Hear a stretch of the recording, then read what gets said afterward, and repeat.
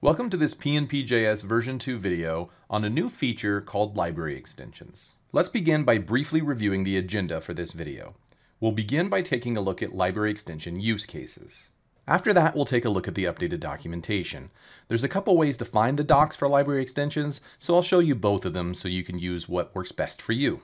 And then finally, we'll discuss an overview of the library extension choices and registration options that are available to us. And after that overview, we'll dive into a demo of how to utilize named extensions combined with a factory registration. Let's begin by first taking a look at why we might want to use extensions within PNP.js.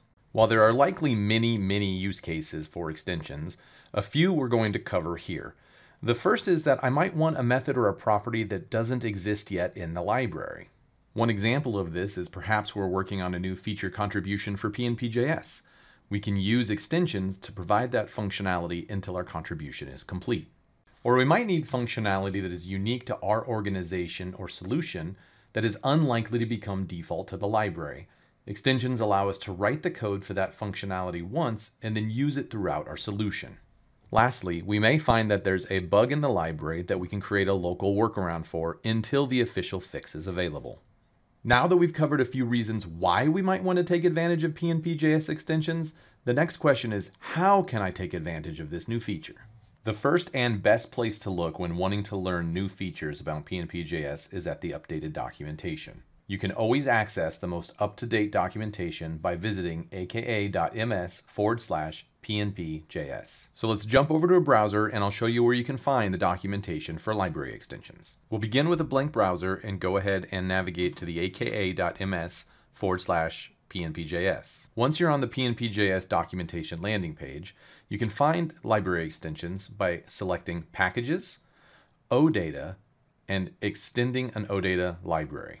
You can also utilize the search functionality from anywhere within the documentation. You simply click into the search box and start typing extensions, and you can see it's found all the extension documentation.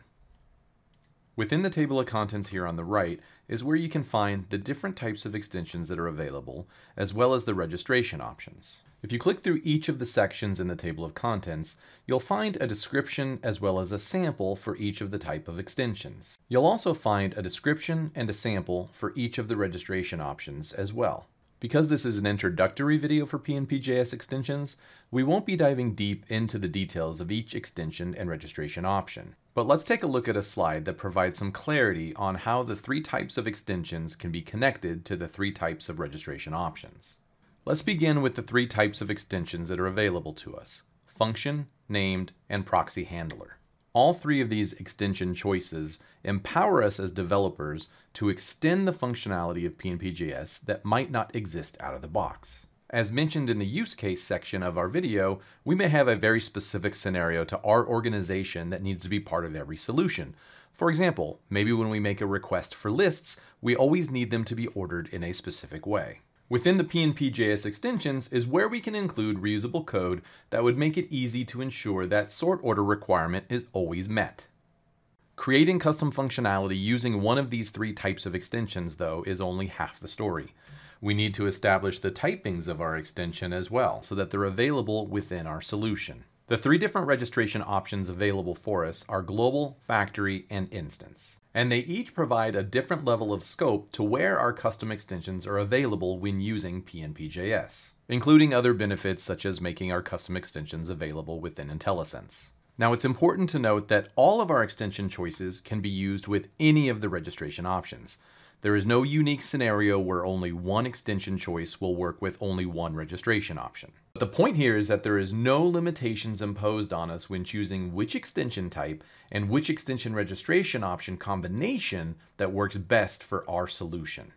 So now that we've covered some use cases, as well as what extension types and registration options are available to us, let's look at a demo. In this demo, we're going to show how to use a named extension with a factory registration. This is a combination scenario we feel that might be the most common. For this demo, we'll be using an out-of-the-box web part, which I've already created and you can see here. I've also already installed the latest version of PNP.js version 2.0. While this demo solution only includes a single web part, it's possible that our solution could also grow in the future to include more web parts or SharePoint Framework extensions.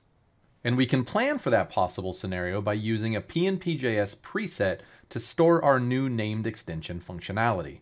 Now, if you're not yet familiar with PNPJS presets, you can learn more about them in the PNPJS video on selective imports, or you can check out the PNPJS documentation.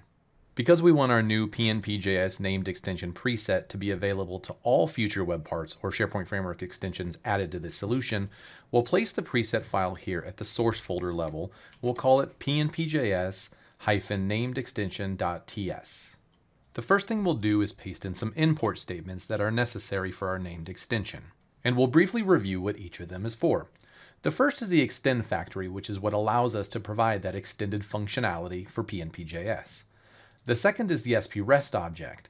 This allows us to export the SP constant from this preset so that it's available to the rest of our solution. The rest are some ambient features we'll need for this particular example. And since we know that ultimately we'll be needing to export that SP REST object, we'll go ahead and add that in now. Now at this point, we have a fully working preset that would allow us to access list data. So let's jump over into our web part TypeScript file and set up the necessary imports to use this preset file. So we'll go ahead and open our web part, the primary TypeScript file, and begin importing our preset. We'll go ahead and paste in the import statement. And as we have done in our other PNP.js version 2 sample videos, we'll include a small method that retrieves the collection of lists and updates our web part with the list of those list names. And lastly, we'll go ahead and execute this method within our primary render method right here. Now let's take a look at the actual request that's being made.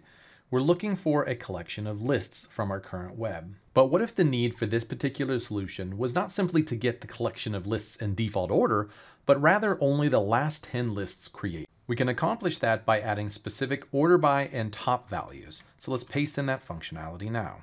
And while this is completely valid and functional, remember that the requirement was that all lists be ordered by created date, descending, and only including the top 10 it's highly possible that someone could mistakenly include a true value on the order by, which would make it ascending, or provide the wrong top value number. So while this is a very simple PNP.js request example, it's also a perfect example of how named extensions in PNP.js version 2 can be used. So let's jump back over to our preset TypeScript file, and let's look at the code that's necessary to set up that specific functionality into a named extension. The first thing we'll do is take advantage of the extend factory, which is something we had imported when we originally set up our preset, but as you can see, we have yet to use. Let's go ahead and paste in some code that allows us to utilize that extend factory. Essentially what we're doing is we're using the extend factory function to create a custom method called lists order created descending. This allows us to identify that exact order by and top value in a single method. So let's save that jump back over to our web part file and try to utilize our method name. So we'll go ahead and click on our web part. We'll come in and we'll look to replace our lists with the method name. But we see there's an error. Why is that? It tells us it does not exist. And that's because, as we reviewed earlier, there are two parts to the PNPJS library extension story. While we created the functionality for our library extension, we haven't established the typings. So let's go ahead and paste in the code necessary for establishing the typings in our extension and making it available to the rest of our solution. Essentially what we're doing is we're extending the iWeb interface to include the name of our new method as seen here. This not only ensures that the types are set up correctly for importing our extension throughout our solution, it also allows for our custom method to be used within IntelliSense. So if we save this and go over to our web part TypeScript file, we see the error is now gone, in fact, if we delete our method altogether and engage IntelliSense, we can see that our method is here available for us to utilize. And again, while this is a very simple example, the use of the PNP.js extension ensures that the correct order by and top values are used in a very reliable and repeatable way. Now let's take a look at another scenario that is slightly changing the requirements we've talked about so far, which has been to return the top 10 lists most recently created, but specifically for the current web. But what if we wanted to use a named extension to be able to identify the current web or the root site collection? Well, then you're going to love this next example because we can create parameterized named extensions. Instead of adding our functionality to the extend factory first, as we did in our previous example, let's begin by establishing the typings of our extension by extending the iWeb interface. This will include the name of our custom method, as well as the parameters that are going to be available to it. Now that we've set up the registration for our functionality, let's go ahead and add in the custom method that makes everything work. In this very simple method, we check to see if our string parameter is equal to root. If it is, then we make a connection to the root site collection and return the lists collection. If not, we simply look at the current site collection. So let's go ahead and save and jump over to our web part to see how we can utilize this new functionality which is really no different from how we executed the method in our first example. We engage IntelliSense, which allows us to find our custom function. We see that it is accepting a parameter of string, so we'll set up root, and then we'll go ahead and execute it using the new invokables feature that's part of PNP.js version 2. No doubt you can see that having the option to parameterize your library extension functionality provides enormous flexibility. Hopefully these two demo examples have given you a glimpse of the incredible power that can be achieved using library extensions.